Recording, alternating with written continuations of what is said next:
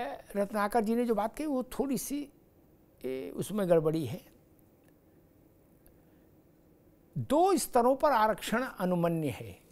केंद्रीय सूची पर, अशोक जी मेरी बात से सहमत होंगे, और राज्य सूची पर। इसलिए ऐसा कहीं गड़बड़ नहीं। ऐसा नहीं कि अररिया में जो पिछड़ा है, वो पटना में असवर्ण घोषित हो गया। ऐसा कहीं नहीं है। राज्य और केंद्र की सूची, दोनों में आरक्षण वर्गीकरण कर दो ना को झंझट ले रहे हो? हिम्मत तो जुटाओ कर दो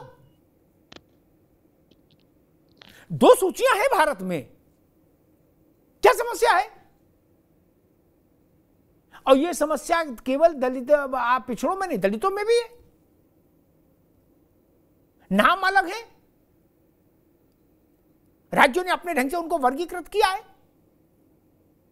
नीतीश बाबू ने अलग ढंग से बिहार में आरक्षण की व्यवस्था की कि नहीं की?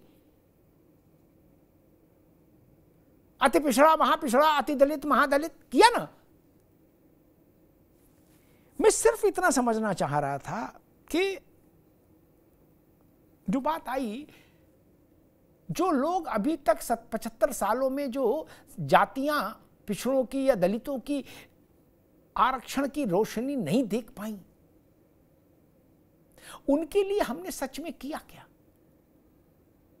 अशोक जी ने ठीक बात कही थी। कहीं रोक थोड़ी ना है। कहीं ये लिखा कि जो आरक्षण दलितों के लिए ये केवल जाटव समाज ही इसका मज़ा लेगा, ऐसा तो कहीं नहीं लिखा। सरकार को मालूम भी है कि कौन से जातियाँ हैं जो छूट गई हैं। क्या उनके लिए कोई स्पेशल ड्राइव चलाई गई कभी? उनको आरक्षण की मुख्य धारा में लाने के लिए कोई तपस्या की गई? नहीं। उनके बाल बच्चों को अच्छी शिक्षा दीक्षा दे के दौड़ाने की कोशिश की गई? नहीं। एक शोषा खत्म और दूसरा छोड़ दो। सियासी फुलझड़ी चलाते रहो।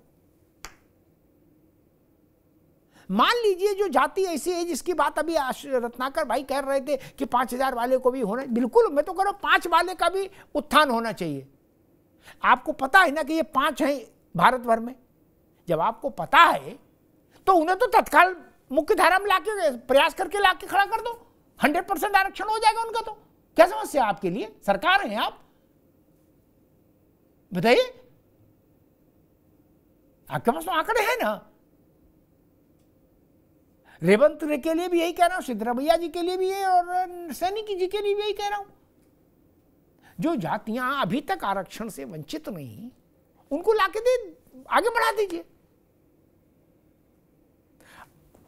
पिछड़ों में, दलितों में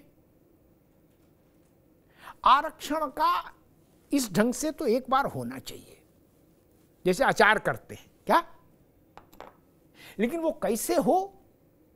उसके मैकेनिज्म पर देश में एक राय बननी चाहिए। संवेदनशील विषय है।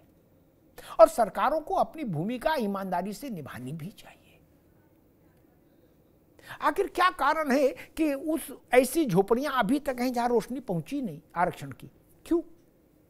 क्या वो हमारी सामूहिक असफलता की कहानी नहीं है? संविधान सभा ने तो दे दिया आरक्षण। जो बात आशीष चतुर्वेदी ने उठाई वो भी महत्वपूर्ण है। आप जिन जातियों के लिए कोटा फिक्स कर देंगे और उन जातियों के उम्मीदवार अगर जब तक उस स्थिति में नहीं पहुँचेंगे तो उस कोटा का क्या होगा? तब तो प्रैक्टिकली उनका हिस्सा और कम हो जाएगा दलित का। क्या ऐसा होगा जैसे रेलवे में, मुझे पता नहीं, अशोक जी जानते होंगे। रेलवे का रिजर्वेशन जैसा रिजर्वेशन तो हो नहीं सकता कि विकलांग सीट है, विकलांग नहीं आया तो हाथ पर वाला बैठ जाए। ऐसा तो होगा नहीं। बोले, फौजी के लिए है, फौजी नहीं मिला तो चलो होमगार्ड वाला भी बैठ जाएगा। ऐसा तो नहीं हो सकता। तब क्या होगा? तो अभी जितने प्रतिशत मिल रहा है, उससे भी गए। और जो चीज़ आपको एक मोहल्ले में अच्छी लग रही है, वो पूरे शहर के लिए अच्छी क्यों नहीं? मैं तो बहस ही नहीं कर रहा, मैं कह रहा हूँ भाजपा को अगर हरियाणा में ये चीज़ अच्छी लगी तो पूरे देश में क्यों नहीं लागू कर रहे हैं? कोई डर है क्या? लागू करिए। और कांग्रेस ये क्यों नहीं कहती, अपने और खड़गे जी के दस्खत से राहुल गांधी क्यों नहीं कहते कि हम पूरे देश में लागू करेंगे? नहीं कहेंगे, मैं जानता हूँ नहीं कहेंगे आप। उसके पीछे का भी कारण मुझे पता है। लेकिन मैं एक बात कहूँगा बात खरी खरी है, लेकिन कहूँगा ज़रूर, ऊँट की चोरी नेहुरे नेहुरे। क्या? जेब में रख के ऊँट नहीं चुराया जा सकता है, जान लेना विवेक जी। क्या? ऊँट की चोरी होगी तो सगरा गाँव जानेगा। हमारी नानी कहा करती थी कहावत? कि ऊँट की चोरी नेवरे नेवरे ना लला, ना। आप इतना बड़ा काम कर जाओगे तो आप सोचते हो तेलंगाना की बाहर बात नहीं आएगी। पूरे देश में इस पर एक प्रतिक्रिया होगी। मुझे पता नहीं, फिर जब आप संविधान की कॉपी लेके निकलेंगे मार्केट में तो लोग क्या कहेंगे? मुझे नहीं पता, दलित क्या कहेंगे? लेकिन आरक्षण कितना संवेदनशील विषय है, इसके लिए एक छोटा सा रिकैप कर देता हूँ। बिहार में चुनाव था, जिस, वो चुनाव की बात कर रहा हूँ, सन में भूल जाता हूँ, जिसमें लालू जी नीतीश जी का अलायंस था।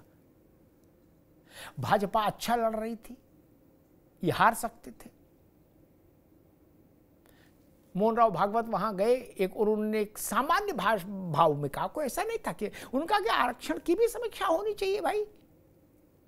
उसका भी आकलन होना चाहिए। लालू जी ने उसको इस ढंग से नेरेटिव बना के प्ले कर दिया कि भाजपा के हाथ से जीत फिसल गई और गठबंधन के हाथ में आ गई। बाद में एक हज़ार सफ़ाई दी रत्नाकर जी, भाजपा ने और संघ ना। 24 के चुनाव में क्या हुआ? रत्नाकर जी, भाजपा से अच्छा कौन जानता है इस बात को? भाजपा संविधान और आरक्षण को, और एक बात कह दूँ, मेरी बात से अशोक जी भी सहमत होंगे क्योंकि मैं बहुत ग्रास रूट लेवल की बात समझता हूँ, मैं बहुत विद्वान आदमी नहीं हूँ। भारत में आरक्षण भारत में संविधान का मतलब आरक्षित वर्ग के लिए आरक्षण है केवल, ये जान लीजिए। बाकी संविधान में कितने पन्ने लिखे गए हैं, किसने लिखे, कौन धारा, कौन उपधारा, इससे कोई लेना देना नहीं। अशोक जी, गलत कहूँ तो माफ़ कर दीजिएगा। ननकू को मतलब है कि संविधान में आरक्षण है महफूज कि नहीं? बस, इतने से। क्योंकि इतना विद्वान कौन है जो पूरा संविधान पढ़े भाई? वो रोटी की समस्या जूझ रहा आदमी। वहाँ इस पर निगाह है कि मेरी आरक्षण की जो सुविधा थी, वो यथावत है कि नहीं? उसी के चलते भारतीय जनता पार्टी को लोकसभा में नुकसान उठाना पड़ा। और मसला ये नहीं कि मायावती जी किस पार्टी के साथ अलाइन है, नहीं है, उनका इंटेंशन क्या है? मसला ये है कि देश की दो बड़ी राष्ट्रीय पार्टियाँ, अगर वो ये तो ईमानदारी बरते कि अगर आपको लगता है ये सही है तो राष्ट्रीय स्तर पर कहिए, और अगर ये गलत है तो राज्य में भी लागू क्यों हो? ये बड़ा सवाल है। धन्यवाद।